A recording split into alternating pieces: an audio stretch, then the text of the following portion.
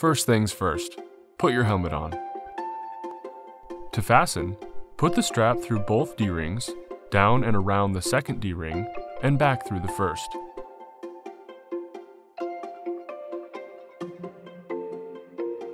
The headstock has seven main controls. The bottom left-hand button is your horn. Above that is your blinker switch. Remember to firmly press the white button to cancel the blinker. Above the blinker switch is your high-low beam selector. Toggle up for high beam and down for low beam.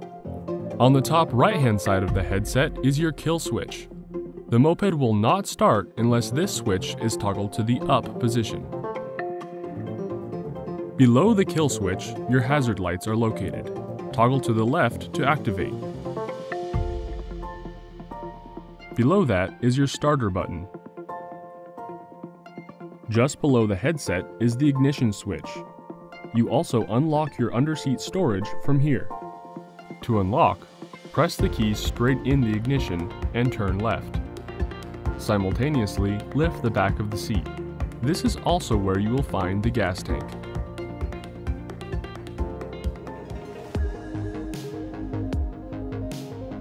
Take a seat to get started. Always raise the kickstand first. Make sure the kill switch is in the run position. Turn the key to the on position. Squeeze and hold your rear brake.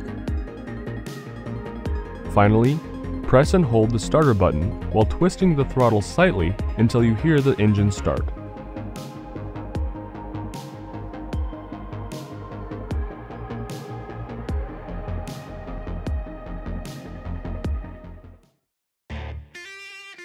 Always use the chain to lock the moped to an immovable object if leaving unattended. If no object is available, you may lock two mopeds' front tires together as shown in the following demonstration.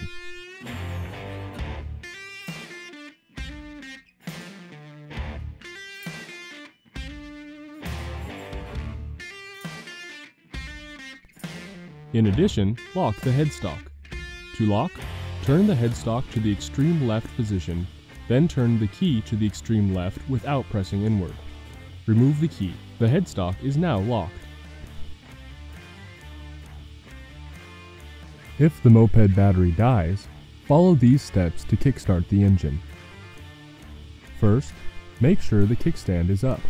Then press down on the center stand while pulling back on the tail and handlebars. Next, flip out the kickstart peg. Swiftly kick the kickstart repeatedly while twisting the throttle slightly and holding the brake until the engine starts.